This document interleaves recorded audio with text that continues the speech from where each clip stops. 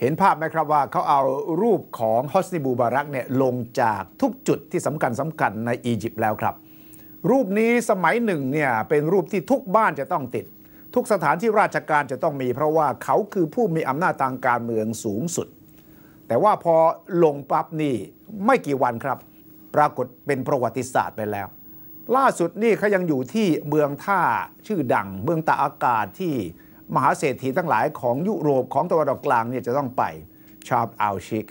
และแน่นอนครับ เงินที่ล่าสุดข่าวออกมาจากรัฐบาลสวิสก็คือว่าเขามีเงินประมาณ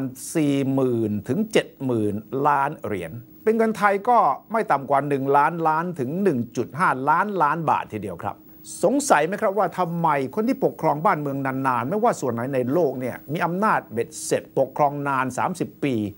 อย่างมูบารักเนี่ยทุกครั้งที่จบลงเนี่ยจะต้องมีประเด็นปัญหาว่า ไปเอาเงินทองชาวบ้าน เก็บเอาไว้มากมายมโหฬารมหาศาลได้อย่างไร ไปเก็บไว้ที่บัญชีธนาคารลับของสวิสด้วยครับ แต่ครั้งนี้รัฐบาลสวิสต้องรีบออกมาประกาศว่า จะต้องอายัดเอาไว้ เพื่อรอการสอบสวนจากรัฐบาลใหม่ของอียิปต์ว่า เงินส่วนไหนที่โกงมา เงินส่วนไหน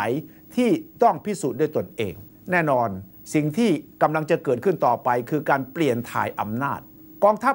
ของอียิปต์ตอนนี้กำลังเป็นผู้รักษาการครับ ยุบสภาไปแล้วประกาศว่าจะมีการแก้ไขรัฐธรรมนูญ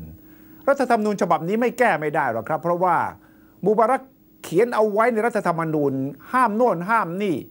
กลุ่มการเมืองพรรคการเมืองส่วนใหญ่นี้ไม่มีสิทธิ์ลงสมัครรับเลือกตั้งนะครับ ตราบเท่าที่มูบารักยังอยู่ในอำนาจ ก็มีแต่พรรค Democratic Party ของเขาเท่านั้นแหละ ที่สามารถส่งคนลงสมัคร ฉะนั้นไม่น่าแปลกใจใช่ไหมครับว่า ทุกครั้งที่มีการเลือกตั้งที่ผ่านมานั้นพรรคของมูบารักจะต้องได้เสียงข้างมาก คนที่ไม่อยู่ข้างเดียวกันกับเขาจะกลายเป็นฝ่ายค้านฝ่ายค้านก็จะถูกปราบปราม สื่อมวลชนถูกกดดัน เขาถึงอยู่อำนาจมาถึงวันนี้ ฉะนั้น 18 วันที่เขาอึดเนี่ยบางคนบอกว่า โอ้โห ดื้อรั้นมาก แต่ผมมองครับว่าความจริงตั้งแต่สัปดาห์ที่ 2 แล้วล่ะครับ ก็เห็นอาการของมูบารักแล้วล่ะ ตอนที่ตั้งรองประธานาธิบดีโอมาสุไลมาน ซึ่งไม่เคยตั้งมาก่อนตำแหน่งนี้มีอยู่ในรัฐธรรมนูญแต่ไม่เคยตั้งเนี่ยผมก็เห็นชัดเจนว่าตอนนั้นเขาเตรียมจะก้าวลง แต่ต้องการก้าวลง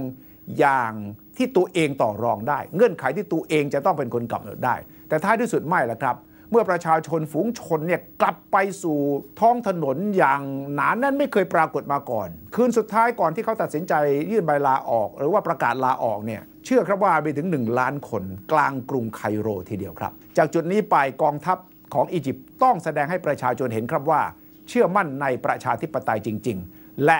มูบารักต้องเป็นประวัติศาสตร์จริง ๆ เป็นประวัติศาสตร์ตั้งแต่นาทีนี้เป็นต้นไป กองทัพอียิปต์มีเดิมพันสูงครับ ถ้าทำช้าหรือว่าผิดคำมั่นสัญญาแล้วก็กองทัพอียิปต์เองล่ะครับ จะกลายเป็นเหยื่อรายต่อไปครับ